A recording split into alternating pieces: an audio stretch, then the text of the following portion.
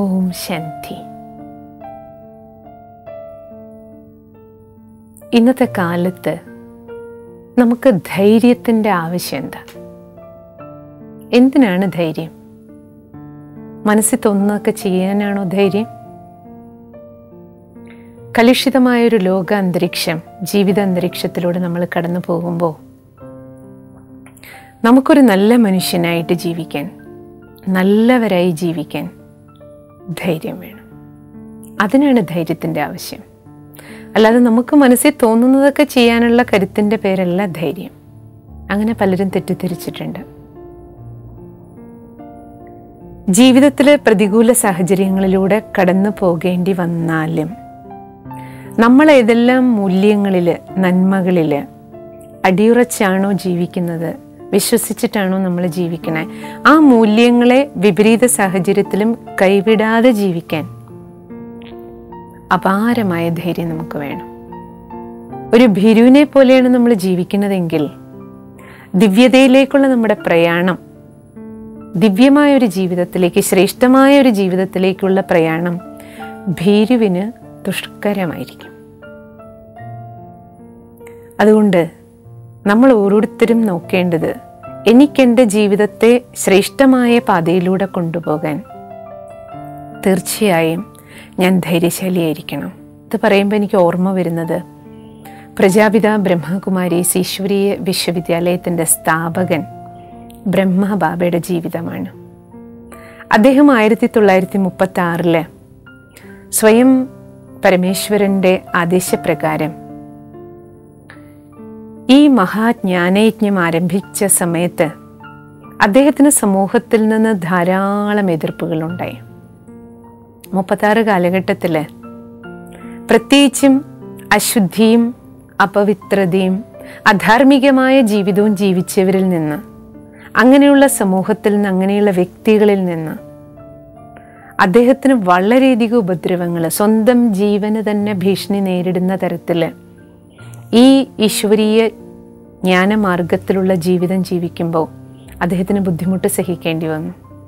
അതുവരെയുള്ള അദ്ദേഹത്തിന്റെ ജീവിതം വളരെ സുഖകരമായിരുന്നു. അദ്ദേഹത്തിന്റെ മുന്നിൽ അദ്ദേഹത്തെ എതിർത്തവരെല്ലാം പറഞ്ഞത് ഒരേ ഒരു കാര്യമാണ് ബാബ അങ്ങയുടെ ഈ ജ്ഞാന യജ്ഞം നല്ലതാ. അങ്ങ് പറയണ ഈ ജ്ഞാനം നല്ലതാ. പക്ഷേ ഒരേ ഒരു കാര്യം അങ്ങ് തിരുത്തിയാൽ മതി. ശുദ്ധമായിട്ട് ജീവിക്കണം. പവിത്രമായി ജീവിക്കണം. ജീവിതത്തിലെ സത്യതയും ശുദ്ധിയെക്കുറിച്ച് നൽകുന്ന പാഠങ്ങൾ ഒഴിവാക്കൂ. ബാക്കിയെല്ലാം നല്ലത് തന്നെ. പക്ഷേ ജീവന് തന്നെ ഭീഷണി നേരിട്ട സമയത്ത് പോലും അദ്ദേഹം ഒരിക്കലും ഭയപ്പെട്ടില്ല. അദ്ദേഹം ധൈര്യത്തിന്റെ ഉറച്ച ചൂടുകളോട് മുന്നോട്ട് നീങ്ങി.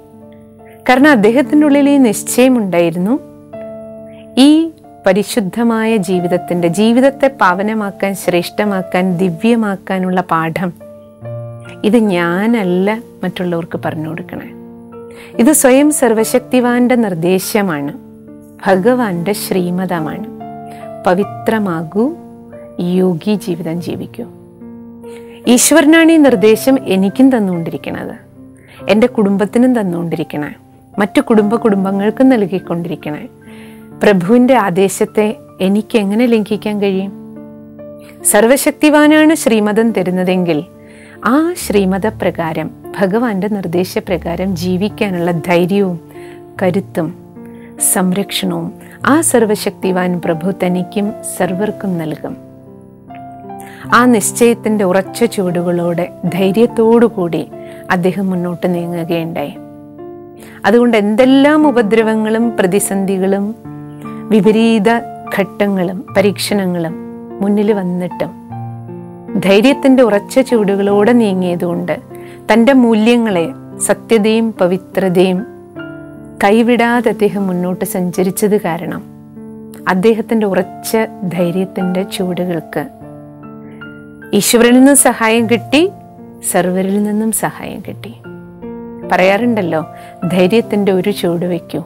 സഹായത്തിന്റെ ആയിരം ചുവടുകൾ വന്നു ചേരും.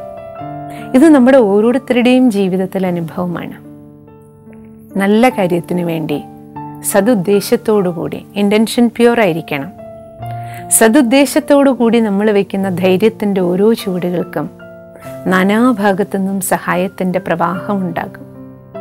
നിങ്ങളുടെയും ജീവിതത്തിൽ അനുഭവം ഉണ്ടാവും. സർവശക്തിവാന്റെയും സഹായം ഉണ്ടാകും. സുമനസ്സുകളുടെയും സന്മനസ്സുകളുടെയും സഹായം ഉണ്ടാവും ധൈര്യത്തിന്റെ ഫസ്റ്റ് സ്റ്റെപ്പ് നമ്മൾ തന്നെ വെക്കണം. അപ്പോഴാണ് സർവശക്തിവാനിൽ നിന്ന് നമുക്ക് സഹായം കിട്ടുന്നത്. സാഹചര്യങ്ങൾ നമുക്ക് അനുകൂലമാകണേ. അല്ലാതെ അയ്യോ എല്ലാവരും എന്ത് വിചാരിക്കും? എല്ലാവരും എന്ത് വിചാരിക്കും? എല്ലാവരും എന്ത് വിചാരിക്കും എന്ന് വിചാരിച്ചാൽ ഒരിക്കലും നമുക്ക് ധൈര്യത്തോടെ മുന്നോട്ട് പോകാൻ കഴിയില്ല. ആദ്യം നമുക്ക് ക്ലിയർ ആയിരിക്കണം. നമ്മുടെ ജീവിതം ശുദ്ധമാകണം. കാരണം നമ്മളൊരു ശുദ്ധമായ ചൈതന്യമാണ്. ശുദ്ധമായിട്ട് തന്നെയാണ് നമുക്ക് ജീവിതം മുന്നോട്ട് കൊണ്ടുപോകേണ്ടത്. എന്റെ ജീവിതവുമായി ബന്ധപ്പെട്ട് സംഭവിക്കുന്ന എല്ലാ കാര്യങ്ങളിലും എന്തു തന്നെ സംഭവിക്കുകയാണെങ്കിലും അതിലെല്ലാം നന്മ അടങ്ങിയിട്ടുണ്ട്. നല്ലതേ വരൂ. ഇപ്രകാരമുള്ള ഉറച്ച നിശ്ചയത്തിന്റെ ചൂടുകൾ ഈ അവബോധം നമുക്ക് ധൈര്യമായിട്ട് മുന്നോട്ട് പോകാനുള്ള പ്രേരണകൾ നൽകും. എത്ര അമ്മമാർ സാധാരണക്കാരായ അമ്മമാർ വൃദ്ധമാതാക്കൾ ചെറുപ്പക്കാരായ അനേകം അമ്മമാർ അവരവരുടെ ജീവിത അനുഭവങ്ങൾ പറയാറുണ്ട്. ജീവിതത്തിൽ വലിയ വലിയ പ്രതിസന്ധി ഘട്ടങ്ങൾ തരണം ചെയ്യുമ്പോഴും ഭർത്താവ് കാലത്തിൽ മരിക്കുമ്പോൾ മക്കൾ പെട്ടെന്ന് ആക്സിഡന്റിലുമൊക്കെ മരിക്കുമ്പോൾ അങ്ങനെയുള്ള സാഹചര്യങ്ങൾ പോലും നേരിടേണ്ടി വരുന്ന സമയത്ത് ആത്മീയ ജ്ഞാനവും ധ്യാനത്തിന്റെ ശക്തിയും മൂല്യങ്ങളിൽ മുറുകെ പിടിച്ചുള്ള ജീവിതവും അവർക്ക് എത്ര ധൈര്യം ജീവിതത്തിൽ പ്രദാനം ചെയ്യുന്നുണ്ട്. ധൈര്യത്തിന്റെ ഉറച്ച ചുവടുകളോടെ പോകുമ്പോൾ സഹായത്തിന്റെ എത്ര ചൂട് സഹായം നാനാഭാഗത്തു നിന്ന് ലഭിച്ചുകൊണ്ടിരിക്കുന്നുണ്ട്. സ്വയം സർവശക്തിവാൻ നേരിട്ടിറങ്ങി വന്നിട്ട് സഹായിക്കും പോലെയുള്ള ജീവിതാനുഭവങ്ങൾ പലരും പറയുന്നത് കേൾക്കാം. അതുകൊണ്ട് നമുക്കെല്ലാവർക്കും ഒരു വിലയിരുത്തൽ ആവശ്യമുണ്ട്. ധൈര്യത്തിന്റെ ചുവട് ഞാൻ വയ്ക്കുന്നത് നന്മയിലേക്കുള്ള പാതയിലേക്കായിരിക്കണം. മൂല്യങ്ങളെ മുറുകെ പിടിച്ച് ജീവിക്കാൻ ധൈര്യം കാണിക്കും. ഓം ശാന്തി